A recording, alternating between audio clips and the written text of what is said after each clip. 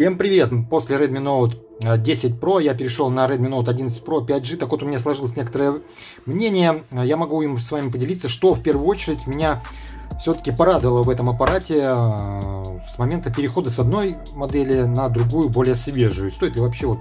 Ради чего стоит покупать Redmi Note 11 Pro 5G? Самое главное, что с чем я столкнулся, в принципе, я особо сначала никакой разницы не ощутил.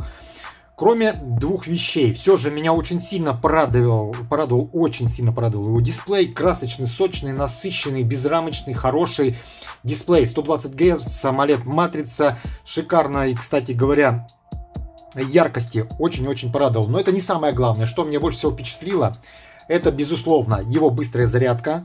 То есть у меня заряжается примерно ну, ну, минут 40 обычно э, до 100%, а то даже меньше, потому как я... Тут на самом деле по характеристикам у нас в комплекте идет быстрая зарядка 67 Ватт.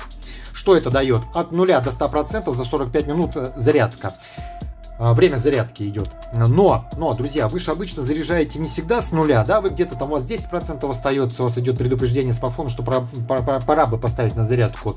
И вот с этого момента где-то с 10%, где-то с 15% он мне ну, плюс-минус заряжается за полчаса, минут ну, за 35 до 100%. И вот, э, вот этот переход, это просто аховый. Очень мне это понравилось. Первое.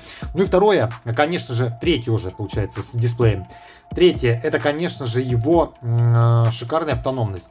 Я думаю, что это благодаря э, тому самому новому процессору, который у нас 690 Пятый Snapdragon, который у нас по 6 нано техпроцессу, нанометров техпроцесс у него свежий, он именно заточен под энергоэффективность, поэтому, наверное, скорее всего, благодаря этому связке самолет матрицы дается хорошая такая шикарная автономность. Вот у меня конкретно я смотрю YouTube, да, там могу немножко поиграть в игры, чуть-чуть, чуть-чуть, буквально минут 15 от силы редко. А, постоянно YouTube, вот это вот, ну, может быть, почитать какие-то, ну, кто-то позвонил, ну, короче, обычное такое вот среднестатистическое пользование смартфоном. Короче, двое суток, а то и пол, полтора, это точно, даже больше, чем, ну, около двух суток. Это шикарная автономность, э, я очень доволен его автономностью, и это самые главные три критерия, ради чего стоит его покупать. Есть у него, конечно, недостатки, о них я рассказал на распаковке. Можете перейти на канал, посмотреть эту распаковку. Там его главные недостатки. Вкратце этого, вкратце давайте обозначу, это то, что у него видеозапись, э, проблемная видеозапись. В остальном это хороший смартфон, стоит своих денег. Как раз сейчас обрушилась цена на него.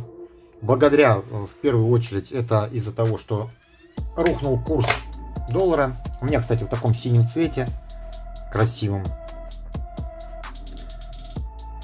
прямые грани. Рухнул доллар, соответственно, и рухнула цена, поэтому приходите по ссылке, смотрите, где я покупал. Там самая лучшая стоимость. На, на этом, наверное, скорее всего, все. Я не собираюсь вас дальше задерживать. До новых встреч, всем пока.